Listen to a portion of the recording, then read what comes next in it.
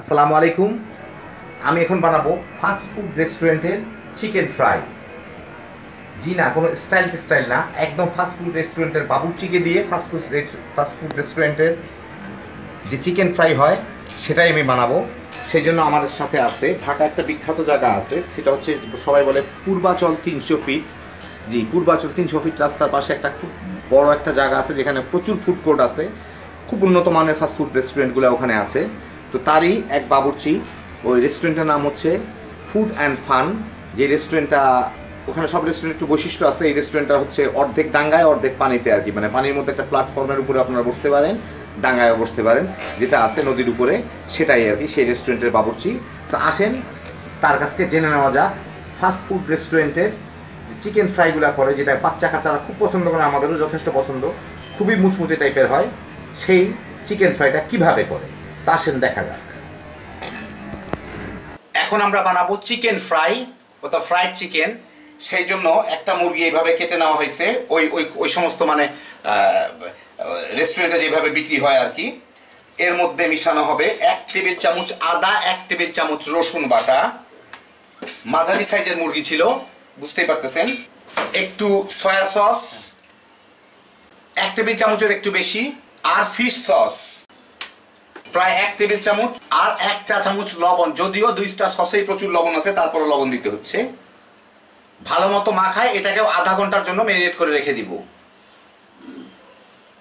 এখন chicken fry করার জন্য এখানে একটু ময়দা নিছি, তার মধ্যে এক চিমটি লবণ দিয়ে দিছি, আর দিতে হবে কর্নফ্লাওয়ার দেখি কতটুক দেয়। ময়দার কি পরিমাণ, দাও। ময়দার প্রায় দশ ভাগের এক ভাগ কর্নফ্লাওয়ার দিয়ে ও মিলায় নিচ্ছে ভালো মতো। মিলানো হইল। এখন একটা পাত্রে পানি নিয়ে নিল।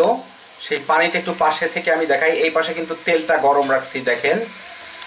এই পানিটার মধ্যে আমি ধরি। ও, ওর মধ্যে এটা চুবায়, চিকেনটা চুবাই পানির মধ্যে চুবাবে। দেখি, নাও। এই যে আমাদের আরেকটু সামনে ম্যারিনেট করা যে চিকেনগুলা ছিল, সেই চিকেনগুলা, নাও কি করবা, করতে পারো? এই ময়দার মধ্যে ডুবায়।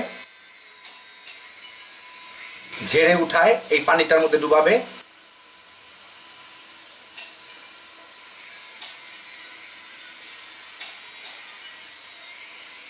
মানে ছেড়ে দিয়ে রাখতেছে আর কি। পিস রাখল। এখন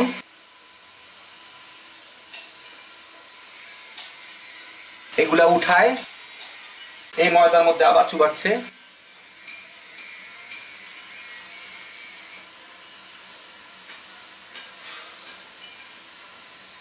হালকা হাতে ময়দা দিয়ে কোট করতেছে।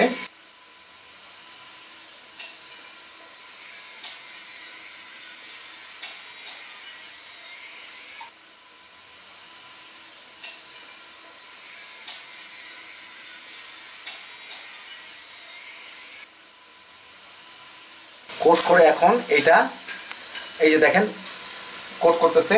কোট করার পরে, ভালো করে ক্লোজ আপে দেখেন, আশেপাশে অনেক কিছু বাবরি টাবরি লেগে আছে, যাই হোক। এখন এটাকে ইয়ের মধ্যে ছাড়বে তেলটার মধ্যে ছাড়বে।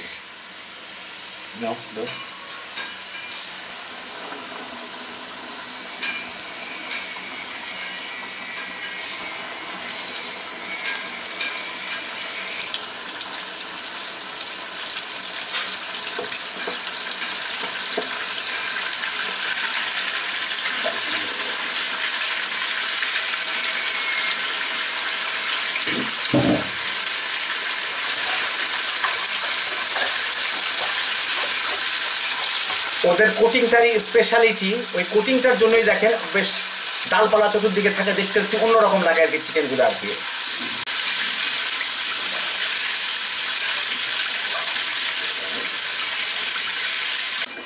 পছন্দ মতো ভাজা হইলে এইটাকে উঠায় নেব।